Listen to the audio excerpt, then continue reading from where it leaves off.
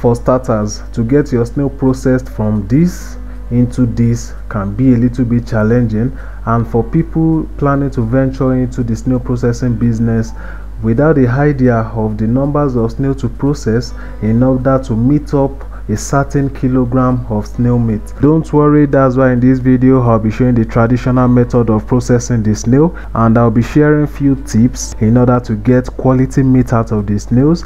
So please if you are new to the channel remember to like the video subscribe to the channel and also hit the bell icon to stay notified when i release quality videos on the channel without wasting much of our time. Let's go in order to get the weight of the snails we started with we'll be weighing. And also when the snails come in they come in dirty when they are freshly picked from the farm. So this is what the snails look like after the first rinse. The snail is rinsed the second time in order to clean them properly as not to contaminate the meat during processing.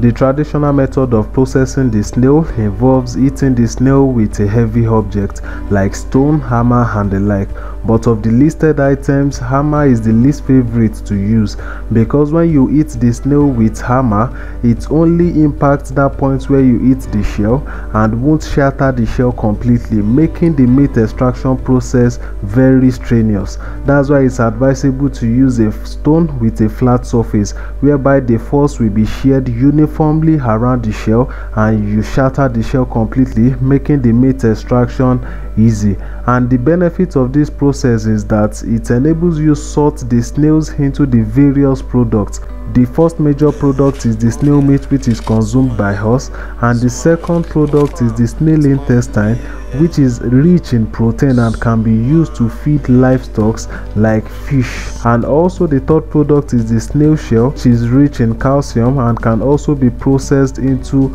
um, calcium source for the snail and other livestock feed. I've released a video on how to process the snail shell into calcium source. I will be dropping the link to the video in the description box below alright while you are removing the snail meat from the shell special attention should be paid to the part where the muzzle of the snail attached to the shell.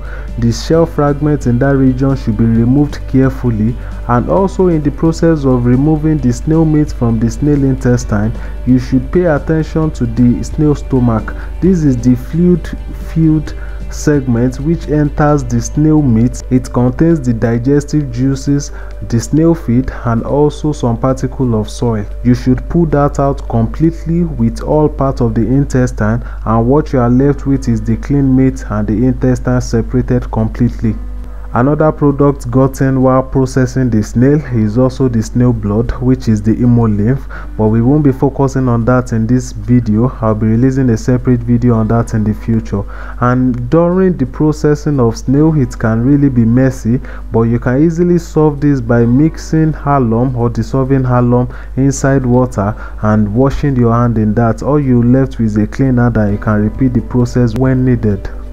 In order to clean the snail meat properly, the first thing you do is to prepare the alum solution and this can simply be done by dissolving aluminium sulfate in water and then you rinse the snail meat in it to reduce the slimy nature of the snail meat. The purpose of using the alum solution is to coagulate the snail slime because alum possesses coagulatory properties and this will enable you handle the snail meat conveniently.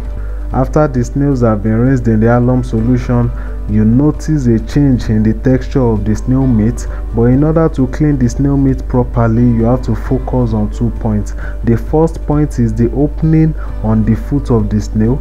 You need to remove the coagulated slime that will be congested in that area.